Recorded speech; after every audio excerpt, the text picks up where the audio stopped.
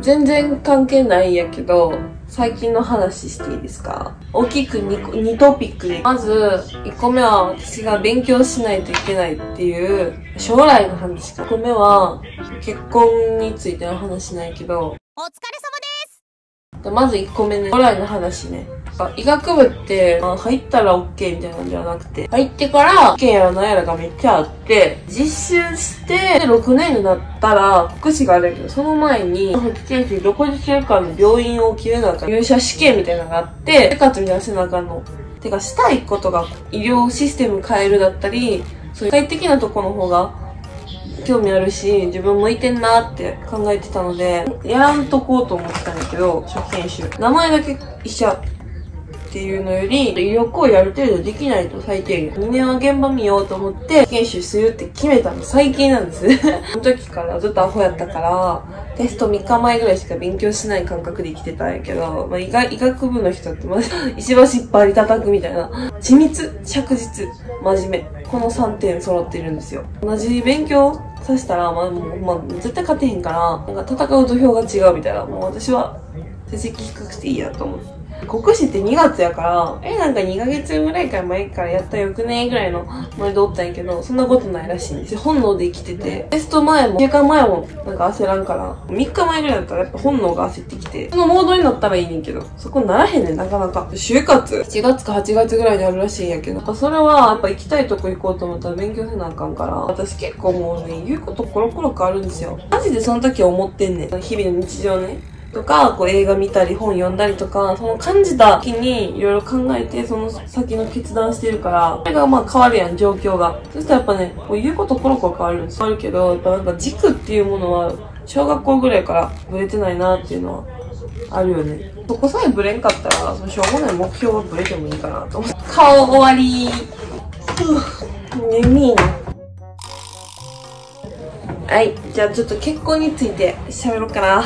この時仲良かったメンバーが12人グループでおって、半分以上ぐらいかな。結婚したわけ。我々の世界では今多分第2波が来てて、で、まだこの年で学生しててさ、一体どう思ってるんですかって話なんやけど、強がりとかじゃなくて、全然結婚したいと思ってなくて、いや、思ってた時期もあったし、今の話ね、ほんまに今、まさに now、ここについて考えたら、いろんなタイプがおると思う。お嫁さんになりたいって、こう、自分の目標の一部と捉える人もおると思うし、自分の want to の、want の姿があって、将来像。そこに、なんかうまいプロセスみたいな感じ。東大行くために、灘に行くみたいな感じで、幸せな私の目標の人生を歩む時の要素の一部みたいな感じだよ、結婚って。だからできへん。こんなん言ってるから偉そうに。できへんのかもしれんけど。ゼロ日婚とかしそう、自分。タイミング、ノリとタイミングでやってしまいそうで、夫婦別居婚とかも全然ありと思うし、時代とその相手に合わせた形で、あの、うまいことやればいいと思うんですよね。時代がさ、マジで変わってるやん。昔の日本ってさ、各家族サザエみたいな。でも結婚したら一生別れなく、一生ね、添い遂げるのが美徳みたいなさ。それが当たり前やったと思うし、お父さんとお母さんが離婚しないのが普通というか、罰っていうぐらいやからさ、離婚ダメ。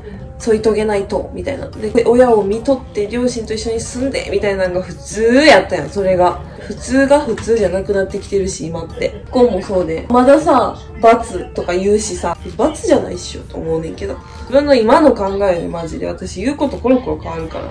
その場の経験とか考え方で。ほんまにそれはもう認めてあげた私は。自分って。めっちゃ言うこと変わるやん、私。リスタートやと思うの。自分はそうする可能性は全然あるなって思う。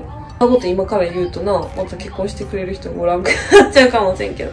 でもそれはマジ。人間さ、20代、こう、まあ医者や、医者もそうやけど、こういういろんなフェーズがあってさ、考え方が変わってさ、仕事で出会う人で価値観も変わるわけやから、そこが噛み合わんくなるのって全然当たり前やと思う。時間って変わるからね。でそれを押し付けたらモラハラなわけやん。自分の価値観を。その人その人の価値観はあるしさ。それって時代とか経験とか捉え方、考え方、世間のそのな、ロシアもそう戦争のあれとか、状況によって絶対変わるものやん、価値観って。それこそ価値観の違いやけどな。添い遂げたい派もおるやろうし。でも私はそうじゃないかも。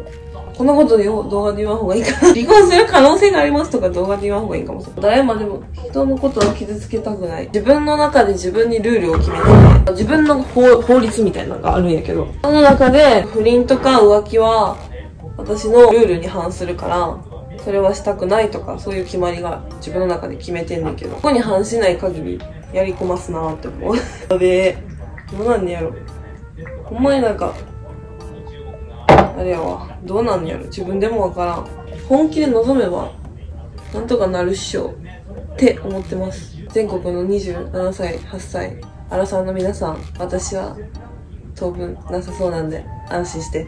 当分なさそうやけど、ほんまに突発的に、あ、結婚するとか言いそう。何があるかわからん。まだおるで。強く生きていこう。とにかくもう楽しみたいですね、人生。楽しそうでやばい。めっちゃ楽しそう。ディズニー行きたいみたいな感覚で結婚したいみたいな楽しそうってなったらチケット取りに行く気する。まだそのフェーズに来てない。こうやっぱ若い時って結構こう本能で動いてて、なんかそれこそ前の大学もそうやけど、あ、今嫌やな。やめたいな。なんか嫌、なんか嫌行きたくないみたいな。でもなんでやろうみたいなのがあったんよ。受験の時とかもね。なんでストレスなんでしんどいの？みたいな。でもなんかそれが、こう今の年齢27とかになって、理由が分かってきた。あ、で勉強でなんか。頑張っておいしょこの間トップガン見たんです。出るトップガン。マジでかっこよくて、60であの体みたいな。声は、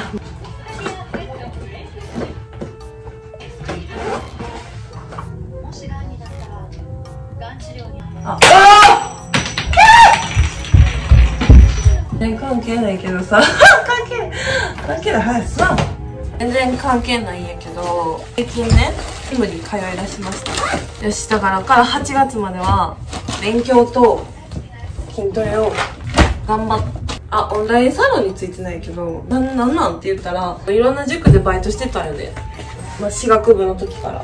大手塾って一般的にはめっちゃいいねんけど、個人にコミットしてねえなっていうのがあって、賢い子は乗っかったら多分頭良くなんねんけど、塾行く子って勉強できひん子やのに、勉強できひん子にいっぱい方法ばっかり詰め込んで、全然本質になってないわっていうのがよくあって。配ってくれるテキストとかさ、コンテンツはめっちゃいいねんけど、そもそういうとこじゃない。例えば遅刻多い子が受からんと思うし、持ち物持ってこうへん子も受からへんし、素直じゃない子も受からへんし、どんだけ勉強ができても、そういう素直さとか謙虚さとか、なんかなんやろその辺が整ってない人っていくらね勉強詰め込んでも受かれへんなって。そういうのってでも意外とその予備校って全然教えてくれへんわけよ。あなたはこうやったらいいよ。あなたはこうした方がいいかもっていうのを言う人受験のコーチングみたいな感じかな。最近思ったのってな受験生らしい生活をしないといけないのにできてないみたいな。